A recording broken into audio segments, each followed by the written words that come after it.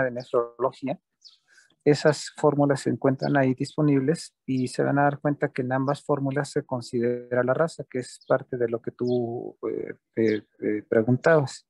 Y esto se hace porque sí hay una diferencia, sobre todo en la población negra, en la filtración glomerular cuando se lleva a cabo el cálculo.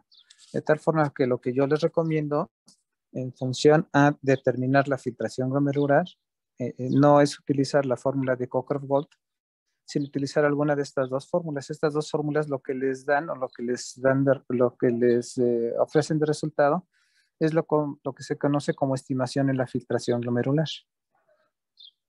Entonces, yo la que utilizo personalmente de, uso más común es la de cerca de EPI, que toma en consideración cuatro parámetros. Uno de ellos es la raza. Entonces, cuando ustedes llevan a cabo el proceso, lo único que necesitan tener disponible para hacer ese cálculo es la edad de la persona y la creatinina sérica. Y utilizando esa fórmula cumplen con los cuatro parámetros y les da el resultado de la filtración glomerular, tanto en mililitros por mililitro como en minimoles. Entonces, la respuesta en concreto sería sí, sí se toma en consideración en esas fórmulas la raza. Gracias, doctor. Ok.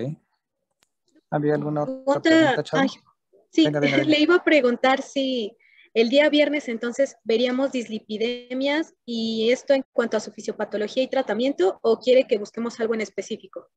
Eh, lo que, eh, bueno, de, en función a lo que, de, lo que comentamos el día de ayer, eh, sí quiero que investiguen algo, que es un grupo farmacológico nuevo que tampoco está en su, en su programa y que está abreviado de la siguiente manera se, conocen como inhibidores. Y les voy a dar las abreviaturas. Es PC SK9. PC SK9. Les voy a dar un, adelanto muy pequeñito para que no el, el, entorno de lo que van a investigar no sea tan, tan complejo.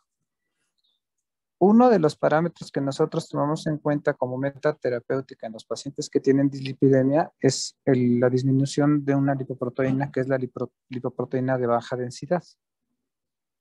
Esta lipoproteína de baja densidad en el cuerpo humano se depura por medio de unos receptores que se producen a nivel hepático. Entonces es muy simple. Estos receptores lo que hacen a nivel hepático es que salen a la luz de los hepatocitos y conforme va pasando una molécula de LDL, lo que hace el receptor por medio de la ApoB100, que ayer le había comentado, si ustedes recuerdan, es que pesca la lipoproteína y esa lipoproteína desaparece de estar en sangre. Entonces, hay un grupo farmacológico que actúa a nivel de una proteína que inhibe que estos receptores vayan hacia la luz de los hepatocitos. ¿Esto qué quiere decir? Que si yo utilizo un medicamento que inhibe esta proteína, voy a favorecer que estos receptores estén en la luz de los hepatocitos y por lo tanto va a haber un mayor aclaramiento de las lipoproteínas de baja densidad. ¿Sí me siguen hasta ahí? Sí, doctor. Entonces, ese grupo farmacológico nuevo son medicamentos que actúan a ese nivel. Entonces, lo que ustedes van a estudiar para, mañana, para el viernes es ese grupo farmacológico. Vuelvo a insistir y se los dije al principio de, de, nuestras intervenciones. Hay fármacos que no están dentro de su programa, pero es importante que lo sepan porque son los que ustedes van a utilizar a la práctica. ¿De acuerdo?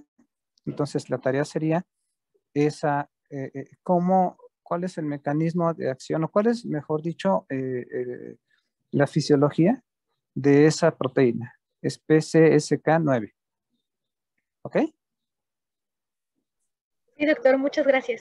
Bueno, chavos, entonces nos veo el pasado mañana. Bye, doctor. Sí, doctor, hasta luego. Que tenga buen día. Igualmente, cuídense. Hasta luego.